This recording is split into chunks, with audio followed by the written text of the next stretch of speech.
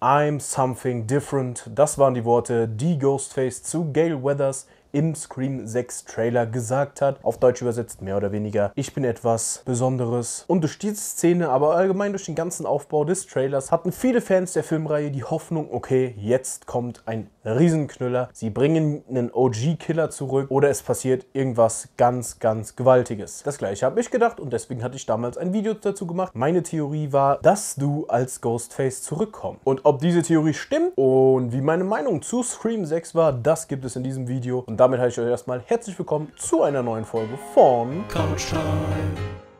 Ja, zurück aus dem Krankenbett. Letztes Wochenende kamen ja leider keine Videos. Es tut mir eher nochmal gesagt äh, sehr, sehr leid. Ich habe es wirklich versucht, aber es ging gar nicht. Ich hatte quasi keine vernünftige Redestimme und äh, ja. Aber ihr habt es ja alle relativ gut aufgenommen und äh, danke für die Glückwünsche. Und an der Stelle nochmal ein persönliches Danke an 500 Abonnenten auf diesem Kanal. Aber jetzt genug herumgeschwätzt und wir starten direkt ins Thema. Und ja, es ist Scream 6. Vorab möchte ich hier eine Spoilerwarnung anmerken, denn ich werde hier in dieser Review Review spoilern. Ne, hiermit seid ihr gewarnt, dass es, äh, es kann zu Spoilern zu Scream 6 kommen, falls ihr ihn noch nicht gesehen habt. Fangen wir es, wie es sich gehört bei einem Scream-Film mit dem Anfang an und der war, muss man sagen, something different, komplett anders. Komplett anders, denn es war eigentlich eine ähnliche Szene. Ghostface ruft jemanden an, mehr oder weniger lockt diese Person irgendwo hin oder man redet mit ihm und währenddessen schleicht er sich potenziell ins Haus und wird einen abstechen. War hier anders, denn der erste Anruf von Ghostface war nicht mit seiner Ghostface-Stimme, sondern die Stimme eines normalen Menschen, eines normalen Mannes, der sich mit einer Frau verabredet hat und äh, diese er dann auch umbringt. Er ändert dann im Verlauf des Gesprächs die Stimme zu dieser typischen Ghostface-Stimme und äh, führt sie in eine Seitengasse und sticht sie ab und zieht dann direkt vor der Kamera seine Maske aus. Und da war natürlich allen wahrscheinlich klar, okay, das ist nicht der Ghostface, um den es in dem Film geht und das ist auch nicht der Startkill, die Startsequenz des Films. Und wir sollen auch recht behalten, denn dieser nette Herr Killer geht nun nach Hause, hat anscheinend einen Kumpel, mit dem die zusammen sowas geplant haben, sind sehr große Ghostface-Fans und wollten, glaube ich, Tara und Sam umbringen, wenn ich das richtig auf dem Schirm habe. Auf jeden Fall ruft dann sein vermeintlicher Kumpel an mit der typischen Ghostface-Stimme, aber hier merkt man vor allem in der deutschen Fassung schon, okay, der Stimmverzerrer hört sich alt an. Es ist so ein bisschen kratziger, es ist nicht dieses 100% cleane. Und da hat man schon gemerkt, okay, das ist nun unser Original Ghostface. Auf jeden Fall, er macht, treibt Spielchen mit ihm und am Ende des Tages macht der Typ kurz seinen Kühlschrank auf, sieht die Leiche seines Freundes und unser Ghostface mit einer ramponierten Maske, mit einer Oldschool-Maske kommt her, dich hinab und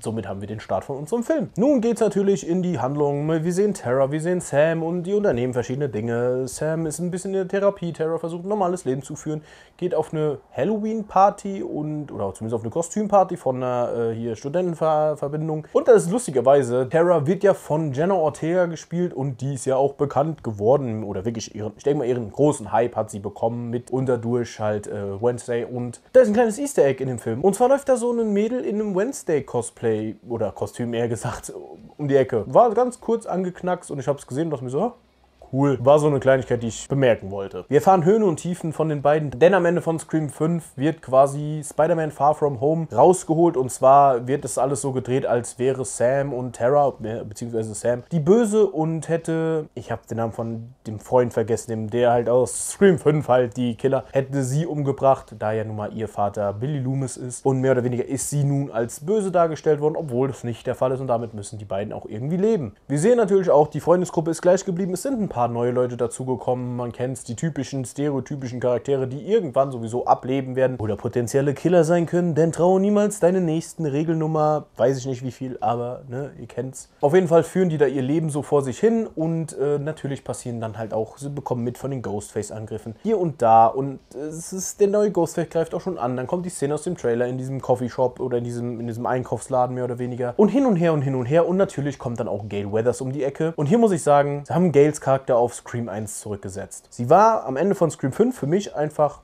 vollkommen. Sie hat es hinter sich gelassen, dieses, diese Carla Kolumna, rasende Reporterin-mäßige, dieses, okay, ich stelle eine Story über alles, hat sie hinter sich gelassen, ist über den Schatten gesprungen, so mehr oder weniger, ist anders geworden nach dem Tod von Dewey sowieso. Und was haben sie hier gemacht? Ja, sie hat wieder ein Buch geschrieben, worauf dann jetzt hier das hier wieder basiert, mehr oder weniger. Weswegen Tara und Sam auch richtig angepisst auf sie sind. Wir bekommen auch den typischen Gale-Punch ins Gesicht, nicht von Sam, weil da weicht sie aus, aber Tara zieht dann hinterher und das war cool. Aber ich finde es komisch, das mit Gales Charakter, das habe ich nicht verstanden, warum sie wieder, wieder als als die doofe Reporterin, die dann halt doch irgendwie, also irgendwie, keine Ahnung, die Charakterentwicklung wird immer wieder zurückgesetzt. Fand ich ein bisschen doof. Mindy und Chad fand ich tatsächlich schon in Scream 5 sehr geil als die typischen Film-Nerds in Scream, weil da gibt es ja immer Leute, die das sind, die dann hier die Regeln erklären, die sagen, okay, so läuft es in Horrorfilmen ab. Und ich finde die beiden bilden auch ein super Dream-Team. Das passt übel gut. Ich mag die und vor allem Mindy ist das auch immer so euphorisch und die erzählt das immer so mit mich richtig Elan. Ich, ich feiere die beiden. Aber äh, Chad und Terra sind irgendwie ineinander verknallt und das ist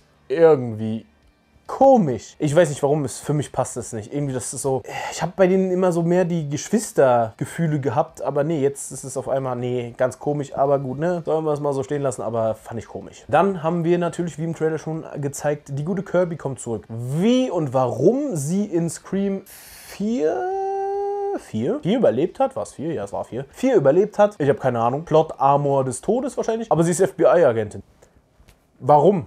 Äh, vor allem so schnell und da muss ich Gail zustimmen. Die ist doch quasi noch ein Kind. Wie ist es passiert und es, keine Ahnung, war komisch, aber schön sie zu sehen. Ich mochte die damals, äh, so einer meiner Lieblingscharaktere aus Scream 4 gewesen. Und ja, sie ist halt wieder back. Kommen wir aber jetzt mal ein bisschen näher auf Ghostface und zwar die alte Oldschool-Maske, die man im Trailer sieht, wo man sich dachte, okay, krass, da ist halt einer, der diese Oldschool-Maske hat und vielleicht halt noch ein oder zwei andere, die vielleicht auch normale Masken haben. Hat sich dann herausgestellt, dass das halt alle alten Ghostface-Masken sind. Und es ist mehr oder weniger aufgebaut wie ein Easter Egg-Schnitzeljagd. Das äh, sagt auch Mindy mehr oder weniger, es hinterlässt mehr oder weniger Easter Eggs, denn an jedem Tatort wird eine Maske zurückgelassen von einem der Killer der früheren Teile, was ich super geil fand, weil halt so alle Killer nochmal aufgerollt wurden und wenn sie nur kurz erwähnt wurden, war für mich pures Gänsehautgefühl, weil man halt immer drauf gewartet hat, oh mein Gott, wann kommt die Maske? Wann kommt die Maske, auf die wir gewartet haben? Das war in meinem Fall tatsächlich nicht Billy Loomis Maske, weil für mich ist Billy Loomis fuck tot. Es war so nämlich Stu's Maske und ja, das war halt schon so ein, es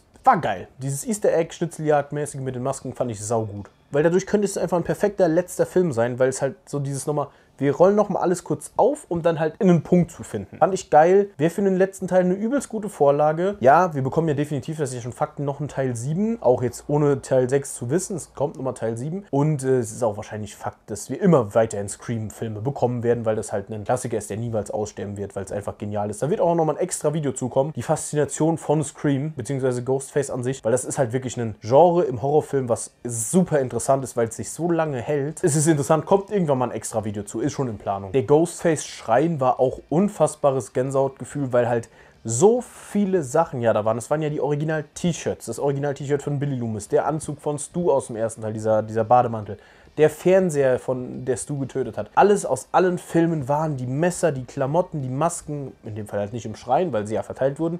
Es war alles da und war halt einfach wie so ein Museum für Scream und auch mit diesen Zeichnungen, wie die Morde passiert sind super geil. Das würde ich mir am liebsten wirklich, also wenn der Film auf äh, Netflix und so rauskommt, werde ich mir das wirklich auch mal Film, also Frame für Frame, ob auf Netflix, weiß ich gar nicht, wo auch immer der rauskommen wird, Frame für Frame wirklich mal angucken, um halt zu sehen, was da wirklich alles für Easter Eggs sind, weil das ist super cool und super interessant gewesen, weil es so, so nerdy Stuff war. Fand ich super genial. Apropos nerdy Stuff, dann haben Mindy und Kirby kurz mal so einen Nerd-Geek Battle. So, so, die stellen sich gegenseitig so Fragen, so, so, hier, welches der und der von dem und der Filmreihe der beste Teil, antworten gleichzeitig. Hin und her. Und man sieht so, das sind so zwei Charaktere, die sich halt so dieses Nerd-Stuff mit auseinandersetzen und da halt so ein wie so ein kleines Battle oder zumindest zu, zu checken, okay, sind wir auf Augenhöhe. Fand ich super geil, weil ich das super relaten kann. Also ich, ich bin ja auch so ein Mensch. Ich bin auch so ein Mensch, der sich dann so hinstellen kann und so, hm, was ist eigentlich dein Lieblings-Avengers-Film? So, äh, der Film, ja, okay, geh mal, geh mal weg, so nach dem Motto. Fand ich super cool. War so super kurz, auch eigentlich unauffällig und unrelevant. Also es war nicht relevant, aber es war einfach nur cool für mich. Ich fand es persönlich super lustig, die Szene. Und dann kommen wir zum Scream-üblichen Twist-Getwiste. Und es geht hin und her. Er ist der Killer, sie ist der Killer, er ist der Killer, sie ist doch der Killer, nein, er ist doch der Killer und sie ist doch der Killer. Und hier in dem Film wurde es zu oft rumgegeben, finde ich. Es wurde einmal zu oft rumgereicht und ich muss sagen, im Nachhinein war mir der Hauptkiller, nenne ich es jetzt mal, war mir im, vom Anfang an klar, weil es nicht mehr direkt offensichtlich war, sondern es war halt irgendwie, dieser Charakter hat so gewirkt von Anfang an. Und ja, dann kam es natürlich zur Enthüllung und es kam raus, dass natürlich wieder der, der Dorf-Sheriff mehr oder weniger, der war nun mal einer der Killer und seine zwei Kinder. Einmal die Mitbewohnerin, die kurz vorher eigentlich abgemetzelt wurde, was natürlich gefaked war. Und einmal sein Sohn, der auch im Freundeskreis war. Heißt im Prinzip zwei Freunde aus dem, aus dem näheren Kreis waren in dem Fall die Killer. Und Plot, Plot, Plot Twist, es sind die Geschwister und er ist der Vater von Richie, so hieß der, aus Scream 5 und haben mehr oder weniger Rache für Terra und Sam geplant. Und auch dieses Gerücht, dass Richie von Sam umgebracht wurde und Sam mehr oder weniger ausgerastet ist und das alles auf ihrem Mist gewachsen ist, haben die auch in die Welt gesetzt. Das heißt, es ist für mich, finde ich, der erste Scream-Teil, wo ein verständliches Motiv hinterlegt es ist. So für mich so, ah, okay, ich verstehe, ihr macht es, weil ne, ihr wollt euren Sohn rächen. Und nicht so, wir wollen einen guten Film haben. War mir ein bisschen wenig. Aber in dem Fall war es halt echt gut und das war so anders halt. Auch dass es drei Ghostfaces mehr oder weniger waren, war super speziell. Aber an für sich muss ich sagen, die Wahl der Killer hat mir nicht gefallen weil zum einen die zwei Freunde aus dem Freundeskreis waren zu irrelevant. Es waren Charaktere, mit denen hatte man halt, keine Ahnung, die hatten für mich keinen Grund. Der Vater, okay, aber die Kinder, warum die mitziehen, irgendwie unfassbar weird und komisch. Ich muss sagen, ich hätte es okay gefunden, wenn dieser Vater das mit einem Sohn oder einer Tochter gewesen wäre, aber der OG-Killer, den wir aus dem Trailer gesehen haben, eventuell wirklich Stu gewesen wäre, weil in meinen Augen Stu eigentlich nicht offiziell Horrorfilm regeltot ist. Und man muss sagen, das wäre tausendmal besser gewesen. Stellt euch nun mal vor, am Ende, oh, Maskenreveal, oh nein, es ist der Vater von Richie und sein Bruder oder seine Schwester. Oh nein, oh nein. Und auf einmal kommt ein dritter Ghostface von hinten, sticht die beiden ab und dann geht quasi der große Endfight los und da kommt dann raus, dass es du ist. Wäre unfassbar gut gewesen. Super genial, weil, keine Ahnung, ich muss sagen, da hat der Trailer uns auch sehr stark verarscht, finde ich. Vor allem im Englischen. Im Deutschen sagt Ghostface am Telefon zu Gail, was ja auch nur im Trailer zusammengeschnitten ist, diese Szene, so wie wir sie im Trailer hören, ist im Film nicht vorhanden. Im Deutschen sagt Ghostface zu Gail, ich bin etwas Besonderes. Und das macht irgendwie schon Sinn, weil er zum einen ist das erste Mal, dass Ghostface ein Motiv hat, zum zweiten ist es, okay, es sind nochmal die vom Teil 5, die haben was mit denen zu tun und halt irgendwie, sie haben halt ein noch krasseres, krankeres Spiel daraus gemacht. Aber wenn man sich den englischen Trailer anhört, wo Ghostface sagt, I am something different, was ja heißt, ich bin etwas anderes und nicht was Spezielles, sondern was anderes. Aber ich finde, dieses Something Different war für mich so, ich weiß nicht. Es wäre krass gewesen, wenn wir einen OG-Charakter gesehen haben, weil im Prinzip haben wir jetzt dieses, oh, ich bin was Neues, was ganz Spezielles. Ja, es sind trotzdem nur drei random Leute, die halt eine Ghostface-Maske aufhaben. Es ist nicht so, dass jetzt ein großes Comeback von irgendwem kommt. Der Trailer hat für mich, mir persönlich, irgendwie zu viel gesagt, okay, hier kommt was ganz, ganz Spezielles und es ist am Ende trotzdem ein stinknormaler Scream-Film.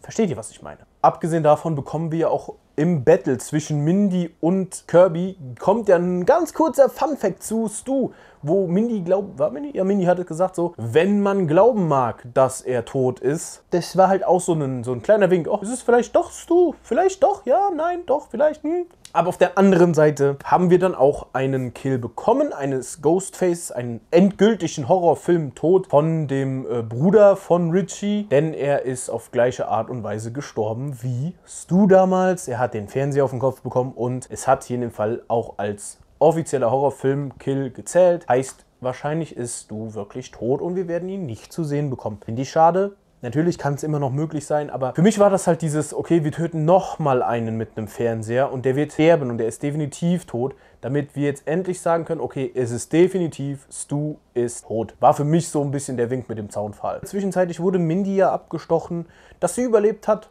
Okay, ist okay, komme ich mit klar. Aber Chat wurde mehrfach von zwei Leuten, von zwei Ghostface, unfassbar oft abgestochen. In die Brust, in den Bauch. Der war für mich tot. Und das wäre für mich okay gewesen, weil Terra hätte ein starkes Motiv in Teil 7 gehabt, um irgendwas krasses zu machen, weil sie ja nun mal irgendwie zusammen sein wollten. Aber nein, Chat überlebt wieder. Und das war wirklich, nee, das war zu viel. Es wäre super geil gewesen. Mindy auf Rage aus, Terra auf Rage aus, weil Chat gestorben ist, wäre super cool gewesen. Weil es halt beide als Ghostface in Teil 7 möglich gemacht hätte. Und so nicht. Chad überlebt ungefähr 25 Stiche in das Herz, in die Lungen, in den Bauch und sitzt dann da, liegt dann auf der Liege, macht yay, Party und nee, also das war ein Tick zu viel, muss ich sagen. Das äh, hätte tot bleiben können. Ja, Gail wurde ja zwischenzeitlich auch abgestochen. Man hat gehört, sie ist auch am Leben. Kirby lebt auch. Und ja, und nochmal auf Mindy und Chat bezogen. Man muss jetzt hier sagen, es ist was sehr, sehr Neues. Die Nerds haben somit zwei Filme überlebt und auch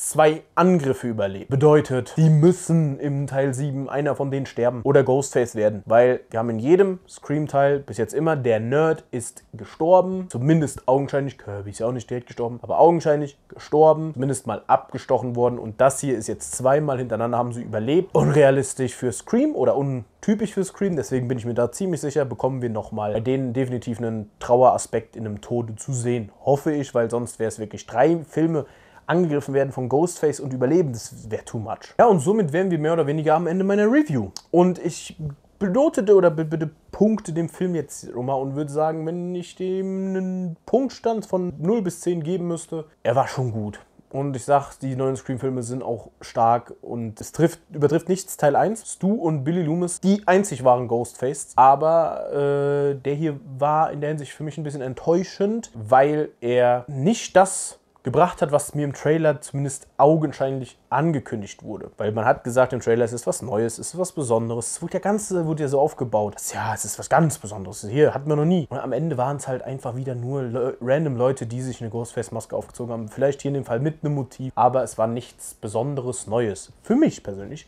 Wie ihr das seht, schreibt es mir gerne in die Kommentare, wenn ihr ihn gesehen habt. An für sich würde ich dem aber schon sagen, ist eine 8 von 10. Doch, auf jeden Fall 8 von 10 geben.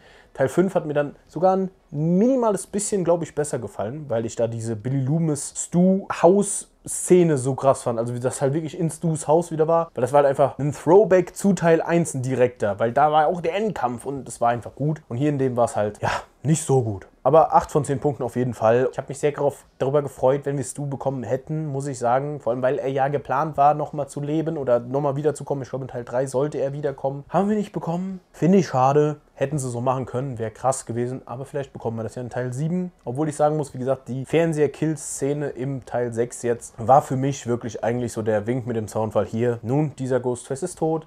Heißt, ihr könnt euch damit abfinden, Stu ist in Teil 1 auch endgültig, definitiv Fakt gestorben. Ja, jetzt habe ich genug geschwafelt und würde die Frage jetzt mal an euch geben. Und zwar, wie fandet ihr Scream 6, falls ihr ihn gesehen habt? Sagt doch gerne mal, was würde euch am meisten freuen, jetzt in Scream 7 zu sehen? Wäre wirklich so ein Comeback von Stu, wäre das was? Ich glaube schon, weil ich fände es echt gut. Es soll ja in Teil 7, soll ja dann auch wieder äh, Sydney zurückkommen. Und in dem Fall wäre halt ein Zurückholen von einem OG-Killer wirklich nicht verkehrt. Aber auf der anderen Seite wäre das halt auch so ein mentaler Abschluss vielleicht für den Film, was sie halt nicht machen wollen. Sie wollen immer wieder frische Killer reinbringen, damit es auch einfach ewig weitergehen kann. Aber ja, irgendwie, ne? Ich hätte es du gut gefunden. Ich hätte es krass gefunden. Einfach heftig. Wie gesagt, schreibt mir gerne eure Meinung in die Kommentare. Und wenn euch das Video gefallen hat und ihr mehr solcher Videos sehen wollt, dann lasst doch einen Daumen nach oben da und vielleicht sogar ein Abo. Ich würde mich sehr darüber freuen. Hier gibt es halt jedes Wochenende, außer ich bin krank, eigentlich immer zwei Videos zu Filmen, Serien, Theorien, Leaks, alles mögliche, Reviews. Und wenn euch sowas interessiert, lasst doch gerne ein Abo da und checkt den Kanal sehr gerne aus. Und ich würde jetzt direkt auch schon mal erwähnen, am Sonntag kommt mal ein spezielleres The Walking Dead Video. Und zwar kommt ein Infovideo, was sich auf die Michonne und Rick Serie beziehen wird. Denn da haben wir ja schon einige Leaks zu bekommen oder einige, was heißt Leaks, Bilder. Und dazu habe ich so meine Theorien. Und das wird mal ein äh, vielleicht aufwendigeres Video zum Recherchieren, würde ich sagen, weil da sehr viele Theorien mir im Kopf rumschwirren. Und das werde ich dann in diesem Video zusammenfassen. Heißt, wenn ihr es nicht verpassen wollt, abonnieren, Glocke aktivieren, dann wisst ihr Bescheid. Das nächste Walking Dead Video am Sonntag mit den Infos zur Rick und Michonne Serie. Und dann würde ich einfach nur noch sagen, ich würde mich natürlich sehr freuen, wenn wir uns dann wiedersehen. Ich dann nach wie vor auf derselben Couch und bis dahin bin ich aber erstmal raus. Ciao.